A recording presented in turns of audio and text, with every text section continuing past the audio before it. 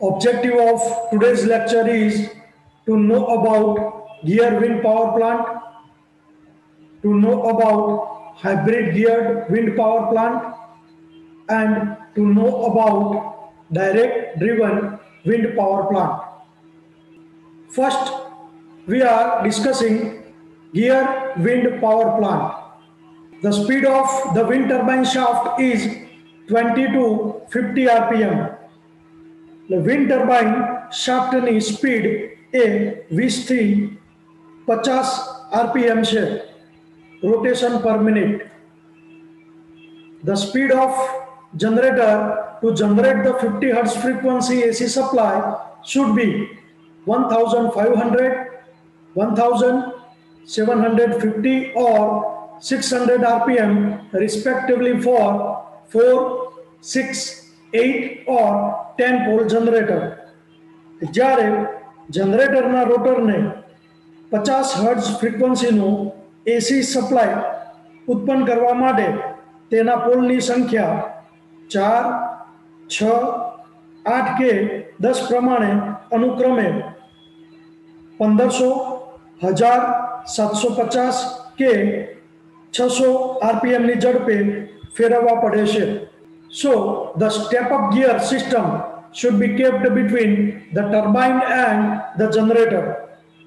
Athi low speed turbine shaft and generator shaft vachche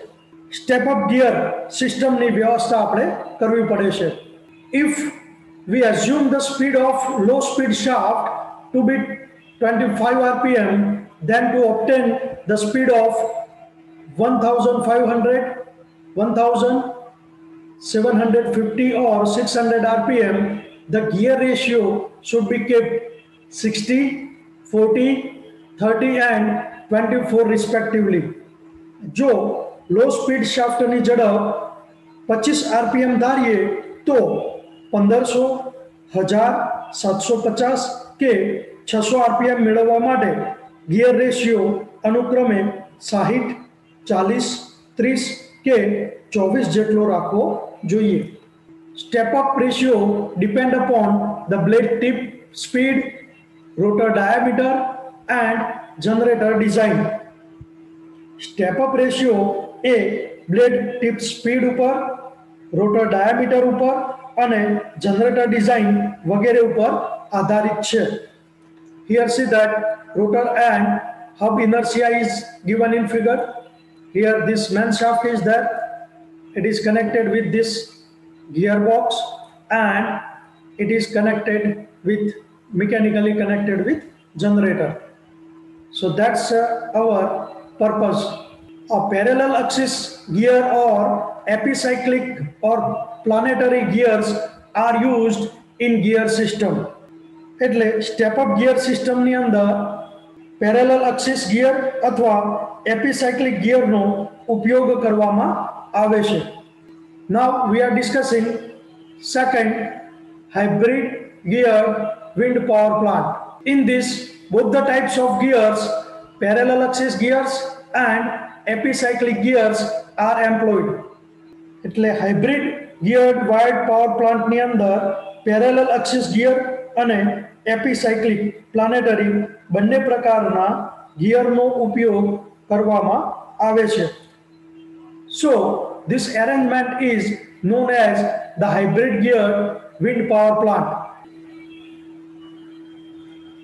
Now third point, we are discussing direct driven wind power plant. In direct driven wind power plant, the gear system is not used. Direct drive gear system માં wind power plant પ્લાન્ટની અંદર gearbox no. ઉપયોગ કરવામાં આવતો નથી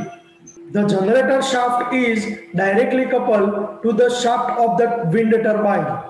so the generator shaft runs with speed of wind turbine shaft wind turbine shaft સીધો